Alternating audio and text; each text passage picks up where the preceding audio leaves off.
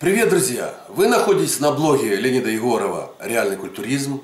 И я хочу сегодня вам представить мое новое обучающее направление, которое называется «Мелочи культуризма». Я выделил мелочи культуризма в отдельное обучающее направление. Почему? Потому что мелочи зачастую можно брать в кавычки. Они могут представлять крайне важное значение в продвижении в натуральном тренинге, в его эффективности. Эти мелочи, они могут являться ключиками к эффективности натурального тренинга. Почему я так говорю?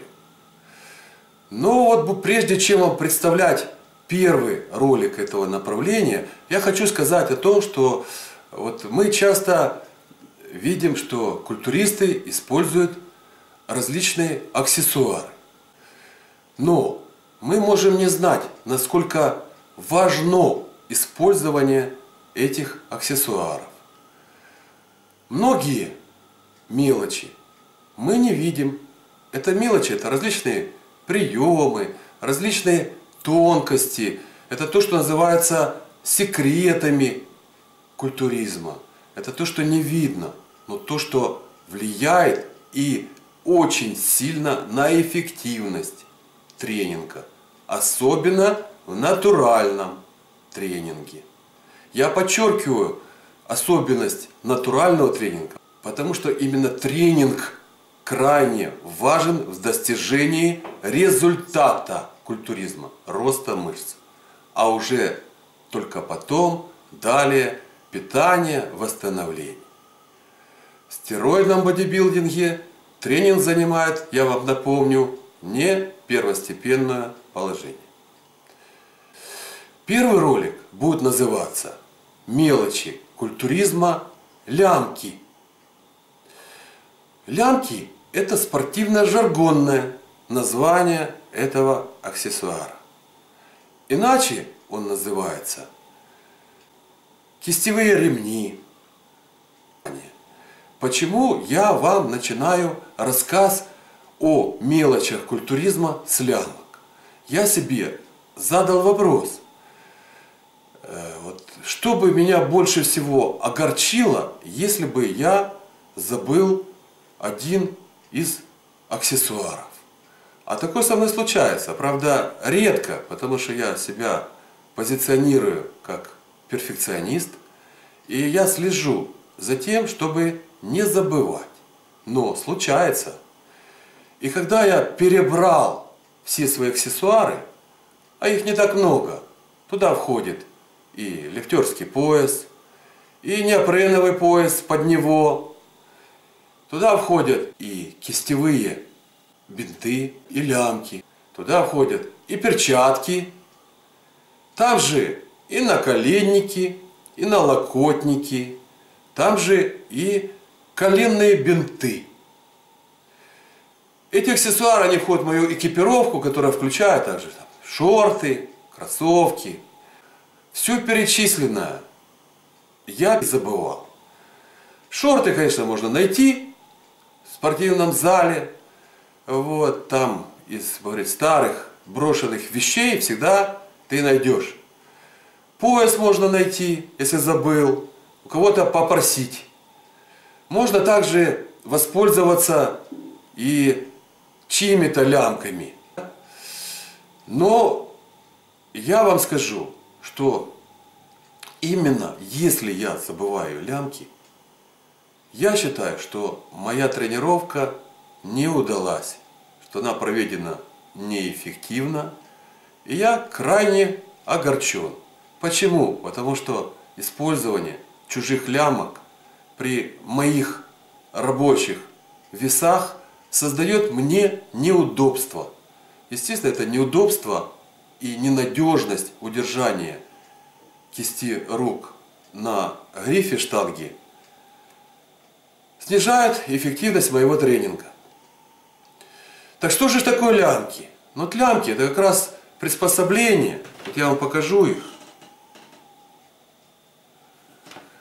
Для удержания кисти на грифе штанги. на перекладине или на тяжелой гантели. Гляньте, пожалуйста, вот я схематически показываю, как они применяются.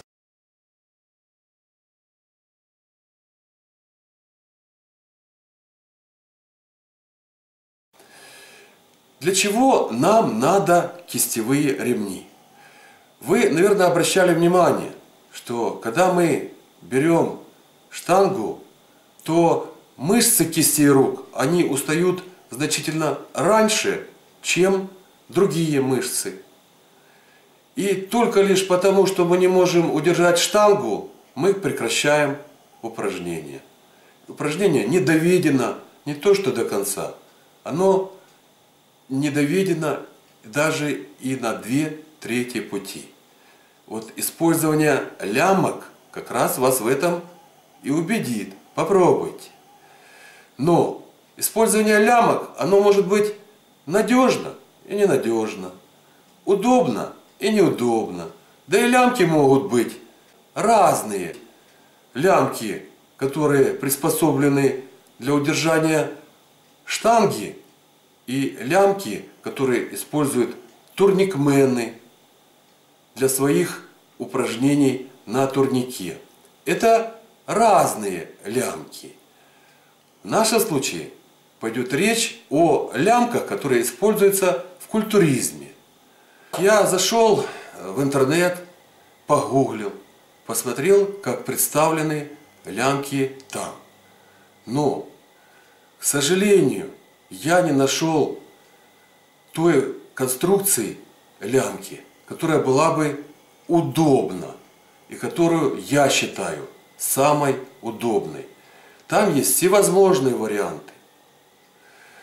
Будем говорить так, что то, что я предлагаю для удобства, проверено мною за мой более чем 35-летний тренинг. Я перепробовал все способы удержания кисти на грифе и остановился именно на использовании вот таких, как у меня, лямок. Но так как я не видел их в продаже, так как я не встречал их в интернете, я их всегда изготавливал сам. Конечно, можно изготовить до определенной стадии, сделать полуфабрикат заготовку и сшить в обувной мастерской. Но я считаю, что такой шов все равно будет ненадежен. Вот когда сам пошьешь, когда все меры предосторожности и надежности будут соблюдены при изготовлении, то вы не будете задумываться, что ваши лямки, которые удерживают кисть, могут соскользнуть, порваться. Вы будете думать только об эффективном сокращении мышц. Вот многие считают, что если кисти закреплены на грифе, то есть не надо, нет, не будет необходимости удерживать гриф, то будет плохо развиваться предплечье. Но поверьте мне, предплечьем удержание кисти на грифе не имеет никакого отношения. А если имеет, то незначительное.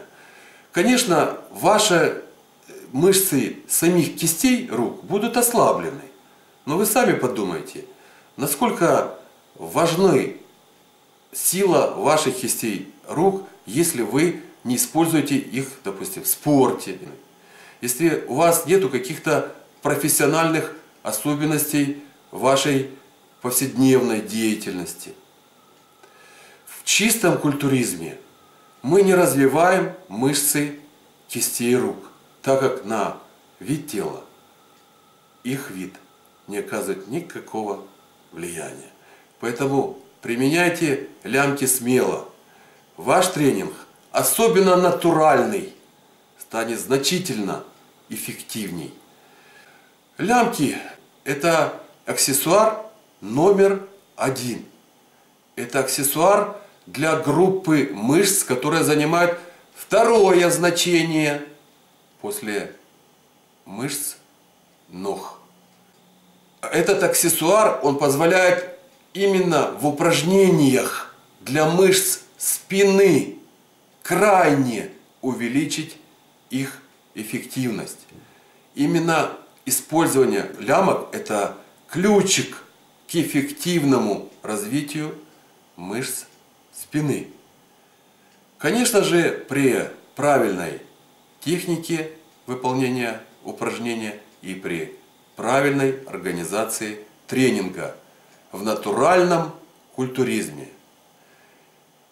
Итак, я вам расскажу, как изготовить самые удобные к использованию в культуризме лямки. Итак, поехали. Итак, друзья, прежде чем показывать вам, как изготавливать лямки, давайте я вам покажу свои вот рабочие, действующие лямки. Вот они. Вот это правая лямка, вот это левая лямка. Лямки выполнены, вот эти мои рабочие, из брезентовой ленты. Вот я их делал летом. Вот она брезентовая лента. Вот так она выглядит. Вот эта лента шириной 30 миллиметров, 3 сантиметра. Стоит она 10 гривен за метр. Доллар на Украине стоит 8 гривен. Вот пересчитайте на другие денежные единицы, кому надо. Лямки, они должны быть крайне надежными. Ну вот смотрите, как удерживает, допустим, эта лямка. Вот у меня есть антель у нее ручка такого же диаметра, как гриф стандартный. Значит, ну, лямка, вот смотрите, она у меня закручена, да, чуть подкручена. Это говорит о том, что она действующая. Почему? Потому что вот когда мы изготовим лямку, вы увидите, что она будет прямая. Но когда вы эксплуатируете, она приобретает такой подкрученный вид. Это удобно. Почему? Потому что, вот смотрите, я одной рукой, вот одной рукой лямку кладу на гриф. В данном случае ручка гантели. И одной рукой, вот пальцами, я подкручиваю, подкручиваю, подкручиваю до тех пор, пока у меня ладонь не ляжет на ручку, на гриф штанги. И вот, пожалуйста, вот, очень удобно, очень надежно. Поверьте, что это очень надежно удержание, для удержания кисти на грифе. И когда мы вот так вот надежно удерживаем кисть на грифе, мы можем не отвлекаться на удержание и сконцентрироваться на наши целевые мышцы. Ну вот видите, лямки они такие белесые. Почему? Потому что для того, чтобы трение было минимально, я еще и смазываю магнезий. А магнезия имеет белый цвет, поэтому они такие белесые. Мы посмотрели на мои рабочие лямки, да? Теперь гляньте, они подписаны. Ну спрашивается, для чего я подписал? Тщеславие ради? Нет, в первую очередь, вот когда я отхожу от штанги, да, с которой я работаю, я оставляю на ней лямки. Вот если это тяговое у меня упражнение. Это говорит о том, что здесь, на этой штанге, кто-то работает. Но отлучился там на несколько секунд или минут. В противном случае, вот при нашей насыщенности в зале, можно отлучиться на несколько секунд и прийти уже кто-то либо занял штангу, либо кто-то снял с нее блины. Если наши лямки не подписаны, то вполне возможно, что это лямки общие для зала. У нас есть и такие. Новички, которые еще не изучили правила зала, они как раз могут и взять лямки, если не подписаны. Большой спрос на брюки. Вот я сейчас еще найду пятерочку.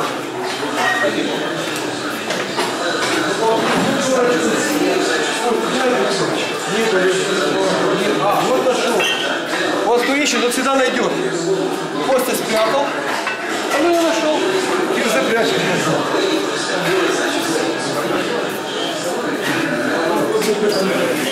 Эй, о, а, это что, Машин, да?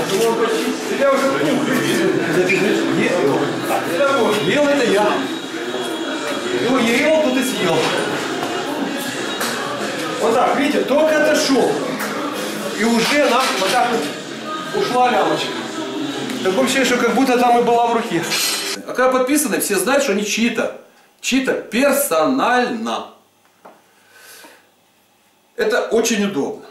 Но спрашивается, чем не устраивает меня вот эти мои рабочие лямки на данный момент? Я сочетаю приятное с полезным.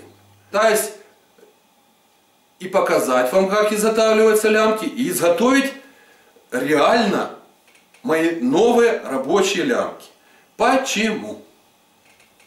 У этих лямок не устраивает петлевая часть. Вот петлевая часть для меня больше, чем надо.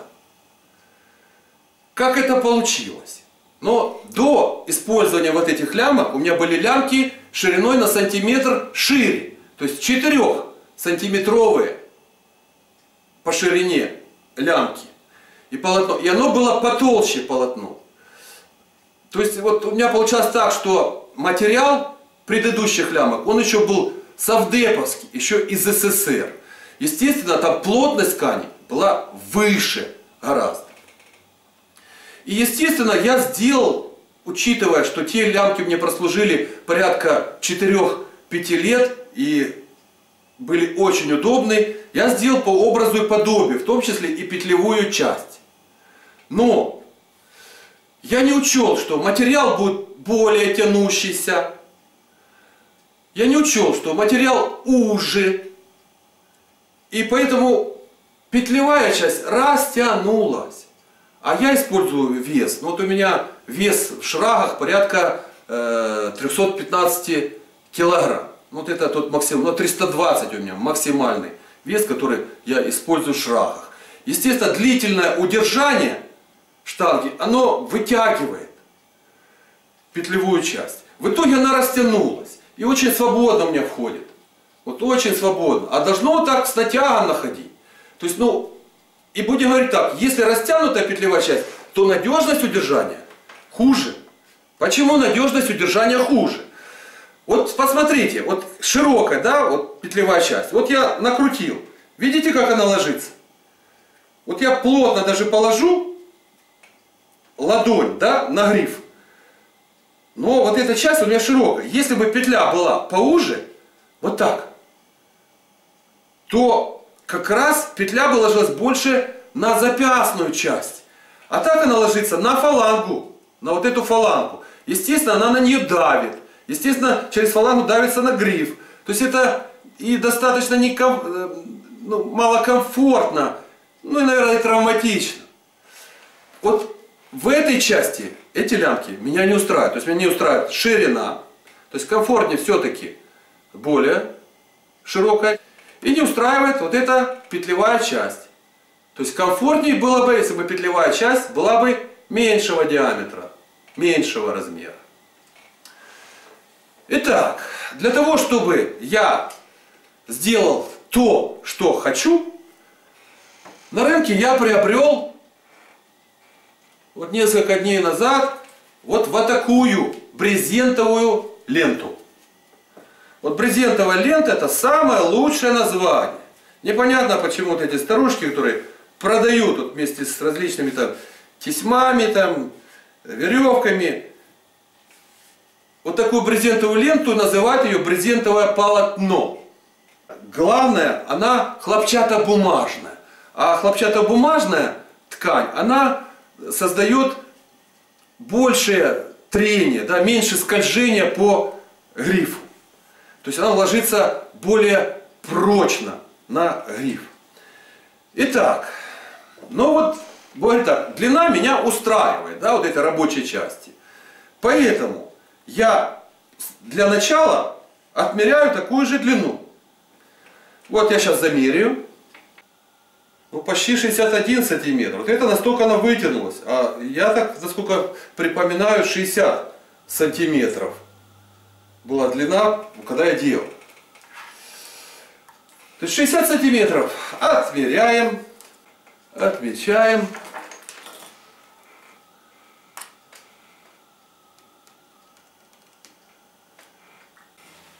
Ровненько по линеечку намечаем.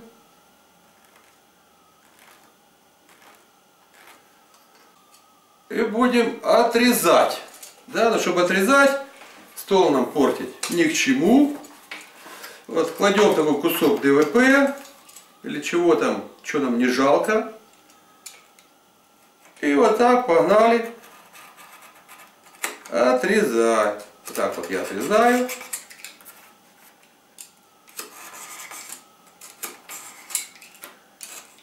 Вот так мы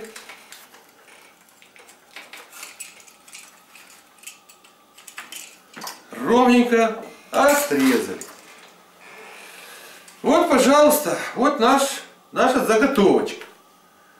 Но не будем торопить события, отрезать вторую. Давайте заготовим сначала одну.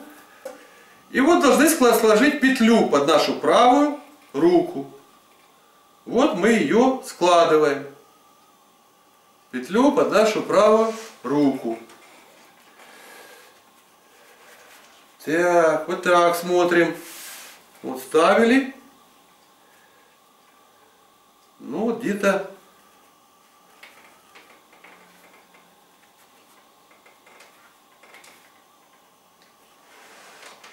Так, вот кладем перед собой, вот я вымерял там, да, всячески, вот этот уголочек.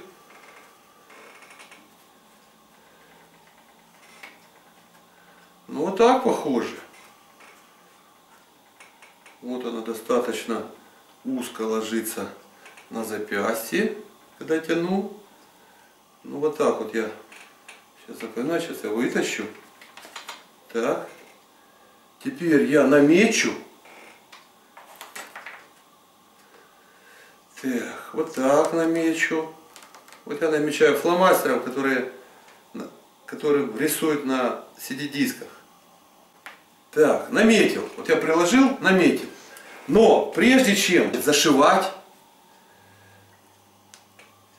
давайте все-таки попробуем. А чтобы попробовать, нам надо зафиксировать. Как бы фиксируем? Берем шило.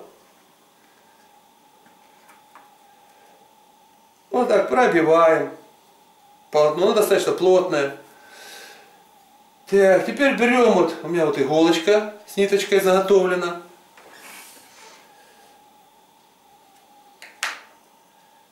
Вот я в эту дырочку ставил. Вот так ставил.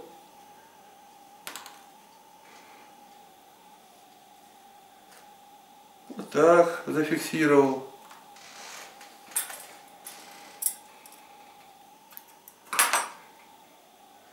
Ну вот мы в трех местах зафиксировали, да?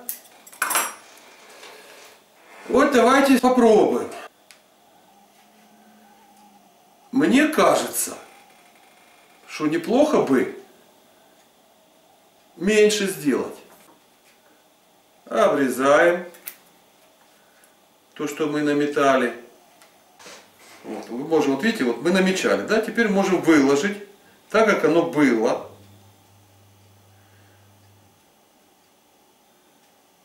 Вот мы выкладываем. А теперь мы можем сделать немного меньше. Ну вот так, например. Опять помечаем. Уже новое положение.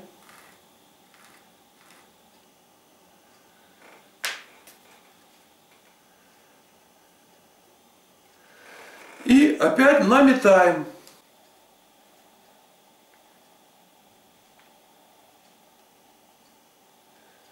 И вот мы зафиксировали четвертую точку. Ну давайте еще сделаю так. Она будет подвержена нагрузке больше всего. Даже в наметках. Так. Вот обрезаем.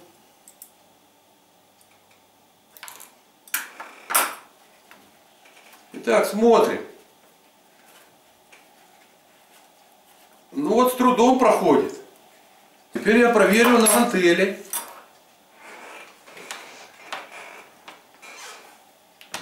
Так. Вот так будет видно, да? Вот смотрите, видно ровно. Вот мне сейчас, ну, если, допустим, на полу еще можно, да, вот так просунул и поднял с пола. А на штанге было бы сложно. Мне пришлось бы помогать.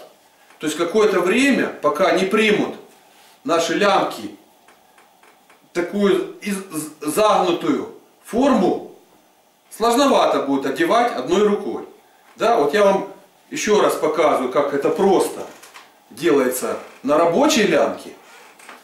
Вот она, закрученная. Вот я вставил, да, вот я сразу перехватил кончик закрученный, и вот я зафиксировал. То вот новая лямка, тут сложнее. Потом она, конечно, пошире. То есть вот это полотно шириной 4,5 сантиметра, 45 миллиметров.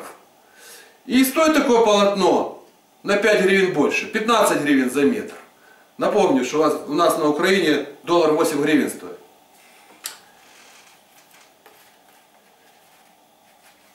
По-моему, я угадал. Оно так плотненько, хорошо. Плюс там подрастянется чуть-чуть и будет вообще замечательно. И теперь я примеряю, как будет выкладываться рабочая часть на гантели. Но здесь мне надо помогать, потому что не закручено. Опа. Ну, мне нравится. Ну, я вам должен сказать, что достаточно прочно. И вы видите, поверхность, то есть уже не так давит, как вот эта лямка. Вот сравните ширину. То есть я чувствую себя комфортно. Комфортно. И я принимаю решение, что вот такое положение лямки годится. Так, убираем нашу гантель. Такое положение лямки самое приемлемое. Теперь, вот пока наметано, да, я беру еще раз фломастер и уже намечаю. Жирно. То есть крайне жирно помечаю. Так, пометили. Теперь то, что наметали, убираем.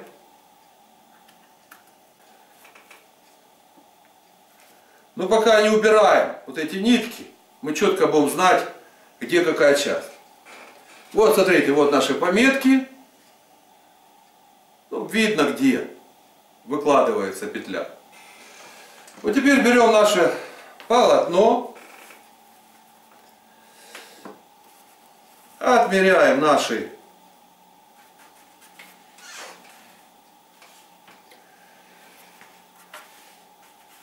шестьдесят сантиметров. Ну, можно вот так, можно отмерить, пометить. Можно по вот этой наметить. Это не столь существенно. Так. И вот так вот.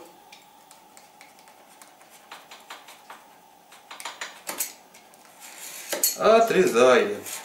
Вот так ровненько, аккуратненько. Вот мы получили заготовку для второй, для левой лямки. Так, теперь мы что? Должны сделать пометки уже на левой лямке. Точно так же, как и на правой. Но в другую сторону. Вот так, да? А здесь мы должны сложить, вот наша рабочая часть прямая, должны сложить в противоположную сторону.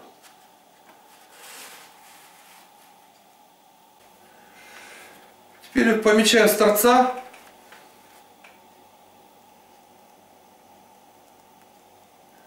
С торца метки нам нужны для того, чтобы перенести на другую заготовку. Для другой руки. То есть вот мы прикладываем.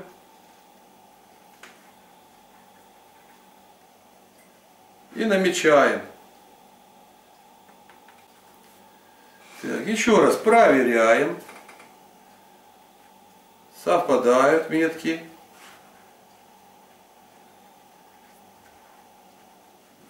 Здесь совпадают метки. Проверяем много раз. Опять-таки, лучше сто раз померить, а потом отрезать. Вот смотрим, вот наши меточки. Вот, мы не ошибаемся. Вот так надо выкладывать, вот так надо убеждаться. Так. Вот одну часть мы пометили, да? Вот давайте мы ее наведем.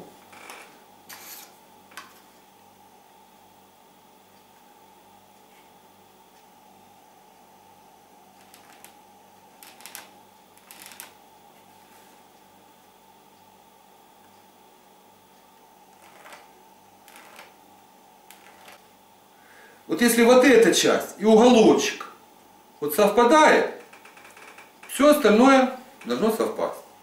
То же самое здесь делаю. Вот если совпадает,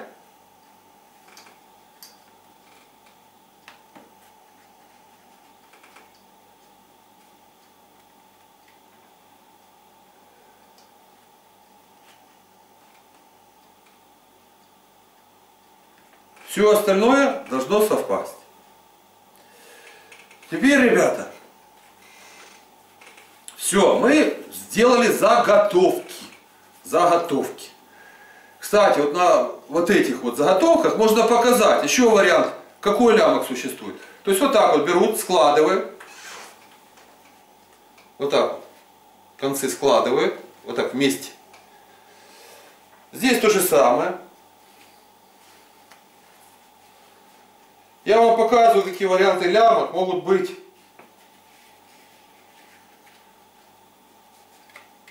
Складывают вот так. Вот. И вот у нас уже возможность фиксировать нашу кисть. То есть вот. Вот я беру гантель.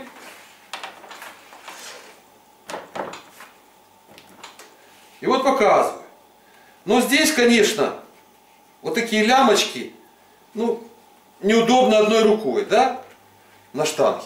Вот так подкручиваешь другой рукой, просишь, чтобы там тебе помогли. И вот тоже фиксация. Ну, тоже неплохо фиксирует, но каждый раз складывать, ну, не знаю, мне всегда было неудобно. Так.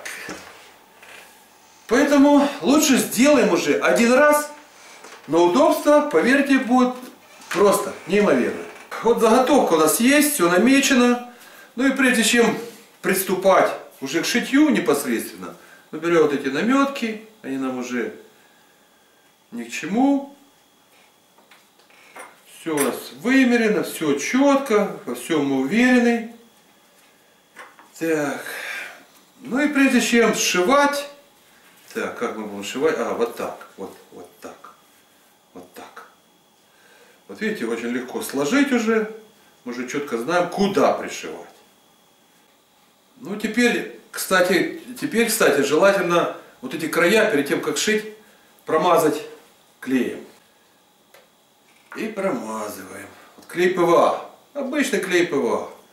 Вот так берем и так промазываем.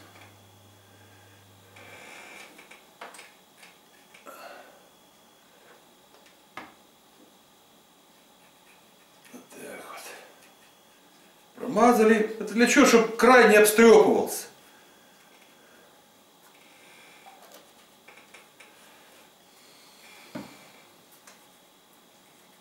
Вот, здесь лишнее обрезано.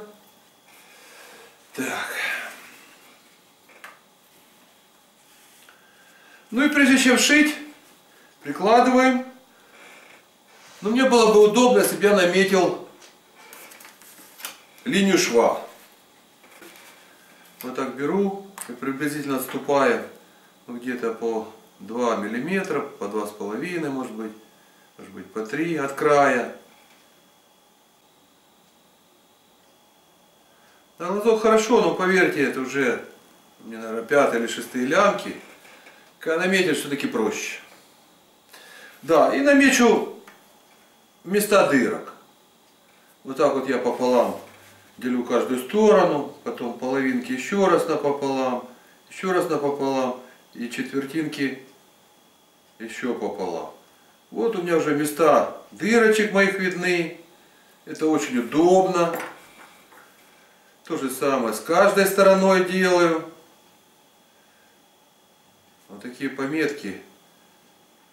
Их делать недолго, несложно, но очень удобно в дальнейшем для шитья. Так, ну вот у нас все намечено. Вот посмотреть. Так, ну а теперь что нам остается? Шить. Для этого нам надо цыганская иголка. Такая большая иголка. Я покупал в одном месте. И ленту брезентовую, и цыганскую иголку, и нитки. Нитки капроновые, они обувные такие нитки. Вот, посмотрите, так можно поближе. Вот так они выглядят. Ну теперь что, берем, ну где-то, нам, я думаю, понадобится метра полтора. Ну вот такой размерчик, вот как раз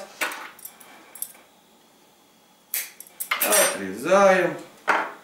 Вставлять цыганскую иголку достаточно удобно. Если вдруг у вас какая-то другая нитка, она лохматится там и так дальше, какие-то проблемы, ставите тоненькую проволочку и так раз и вытащили нитку. Но для меня оказалось это не проблемой. Да, теперь делаем узелок. Узелок, как обычно. Раз, крутнул. Два, крутнул. Ну, вот этого, наверное, будет и достаточно. Вот так затянул хорошо. Подтянул. Отрезал.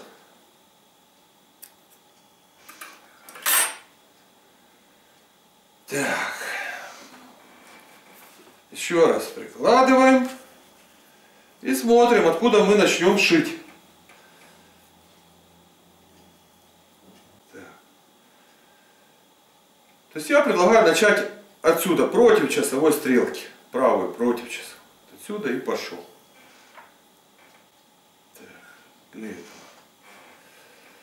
Сначала нам надо узелок наш загнать между лентами. Вот так мы делаем дырочку.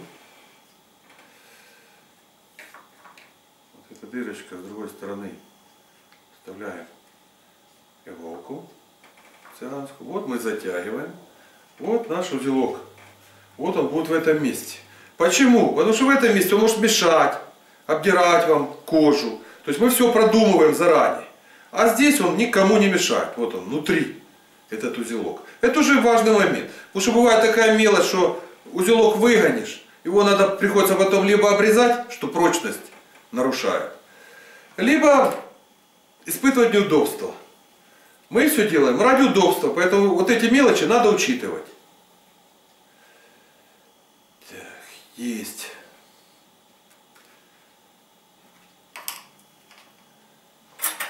Теперь делаем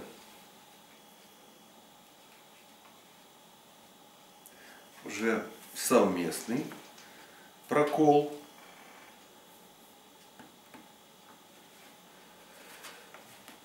Прокалываю две полосы. Вот так вот. Вот так покрутил.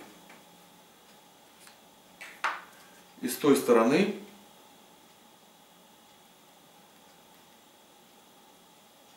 вставляю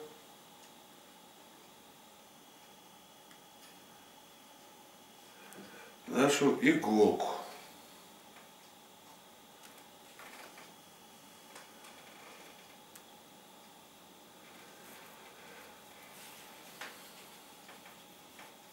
Вот вы видите, я сразу же четко фиксирую вот эту часть. Да, вот так по диагонали.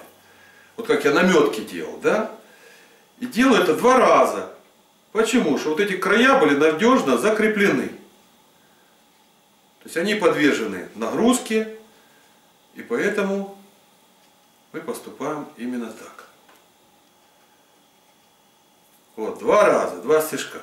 Все, а теперь мы можем идти вдоль линии вот этой. Опять прокалываем.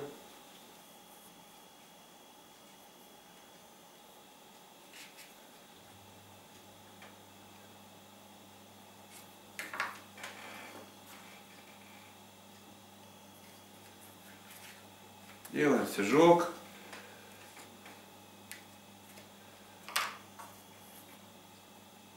Теперь через, да. Следующий. С другой стороны. Так, я вот не заметил, надо замечать, где выходит. Так, вот выходит. Вот мы заметили, откуда выходит. И туда же вставляем иголку.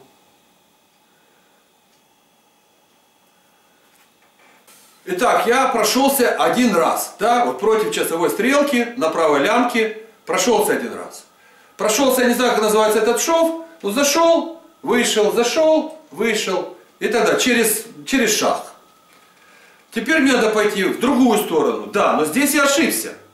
То есть я здесь зафиксировал, здесь, здесь, а этот уголок не зафиксировал. Вот видите, вот я зафиксировал, вот и вот. То есть два раза, да? А здесь нет. И когда я буду назад, в другую сторону идти, я должен не забыть зафиксировать.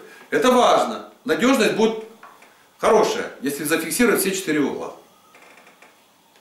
Ну и чтобы выглядело красиво, вот для эстетики, я возьму на виду наши швы фломастером. Ну все, вот, пожалуйста. Вот так уже выглядит наша лямка. Согласитесь, что это совершенно уже другой товарный вид. Ну вот я сделал за кадром другую лямочку, левую. Вот точно так же я подправил швы. Вот далее я подпишу их. И все, и лямки наши готовы. И вот я проверяю. Вот смотрите вставляю кисть. Вот туговатенько, но это хорошо, она потянется. Наверняка чуть-чуть потянется и будет вполне нормально входить. И достаточно быстро мы сможем одевать. Да и сейчас э, таких особых проблем нет. Все, теперь берем и проверяем. Так. Так, ну вот смотрите, все хорошо вот.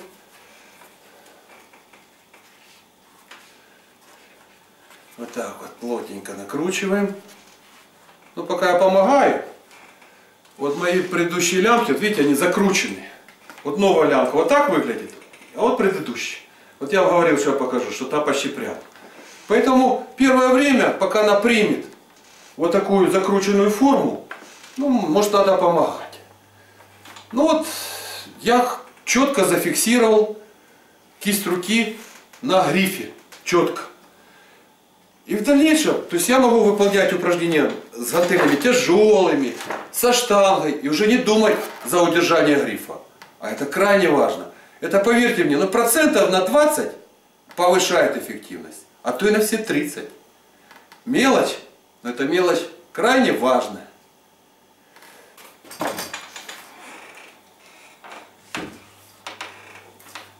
Итак, ребята, я вам показал одну из самых главных мелочей, один из самых главных аксессуаров.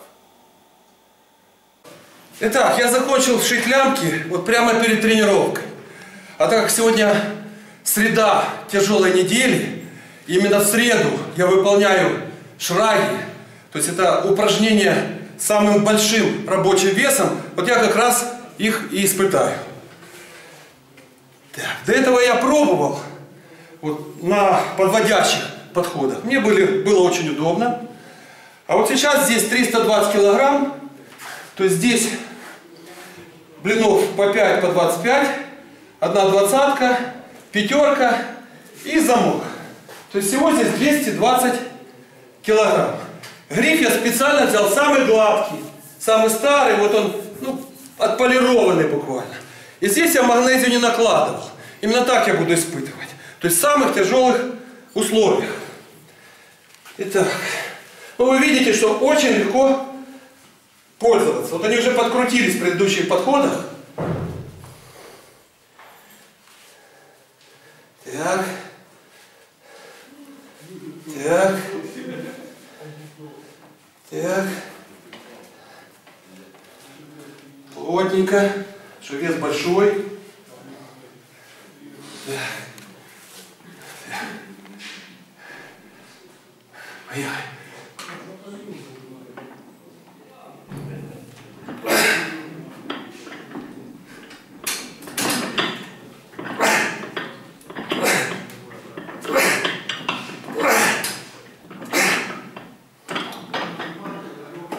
Ну что тут сказать, магнезию надо. И, конечно, не на таком грифе. Но мне понравилось. Удачно. Здесь вот эта ширина 4,5 прекрасно ложится. Я переживал, что будет широковато. Но, будем говорить как, теперь я могу советовать такие лямки с уверенностью, что они вам тоже будут комфортны. Итак, до следующих роликов. Всего доброго, пока.